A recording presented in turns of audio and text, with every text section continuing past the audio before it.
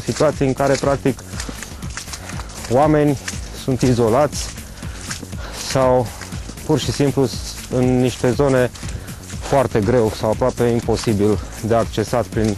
mijloacele uzuale de locomoție, mă refer aici la autoturisme, sau în cazul intervenției cu elicopterul, intervenția ar fi limitată din cauza condițiilor meteo nefavorabile sau a condițiilor de teren. Și atunci m-am gândit că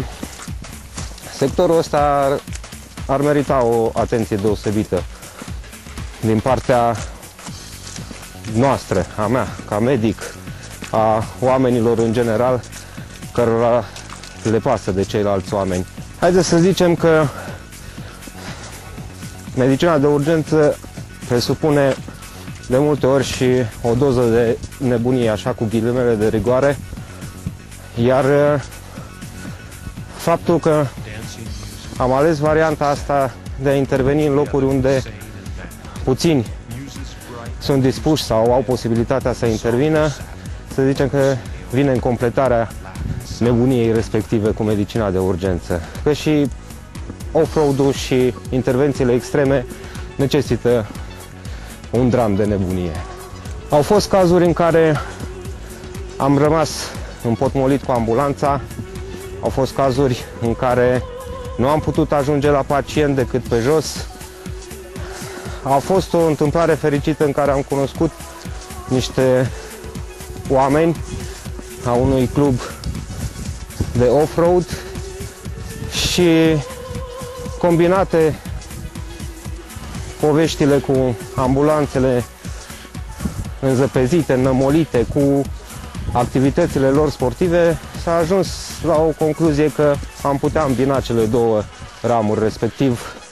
intervențiile de urgență medicale și off-road-ul. Ne-a venit ideea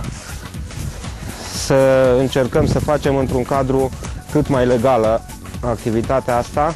și atunci am decis să înființăm o fundație care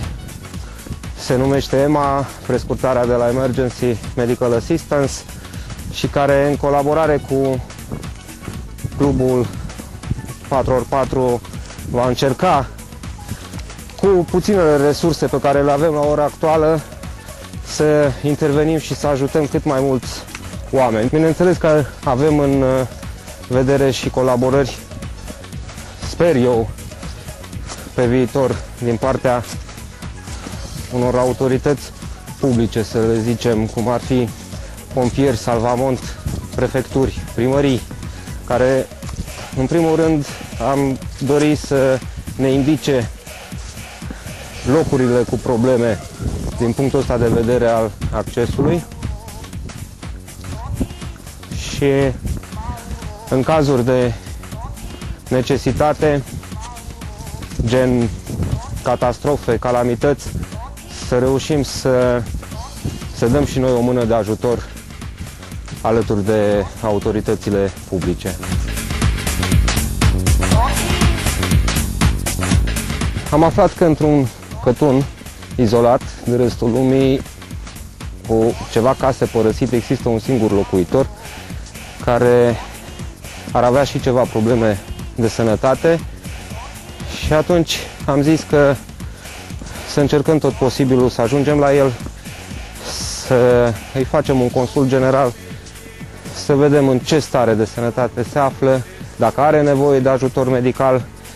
și dacă are, atunci să încercăm să, să îl acordăm sau să-i facilităm accesul la, la ajutorul medical. Oameni suntem toți și dacă am încercat să ne punem măcar pentru o clipă în pielea celui de lângă noi,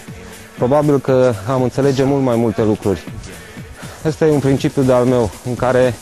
nu contează că ești sărac, bogat,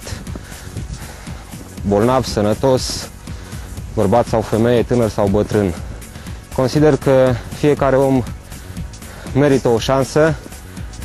o șansă pe care o dă soarta și o șansă pe care o poate primi de la cel de lângă el. Acțiunile sunt, nu sunt taxate pe e, interese financiare. Eu când am început medicina, am pornit pe drumul ăsta cu un singur gând. Ca atunci când îmi va veni și mie vremea ca la toți de altfel, să pot închide ochii în păcat că am salvat măcar o viață. Și în momentul în care îți fixezi astfel de scopuri sau astfel de ținte, uh, sunt genul de om care fac orice ca să le duc la, la bun sfârșit și să pot și eu să fiu un păcat cu mine însumi.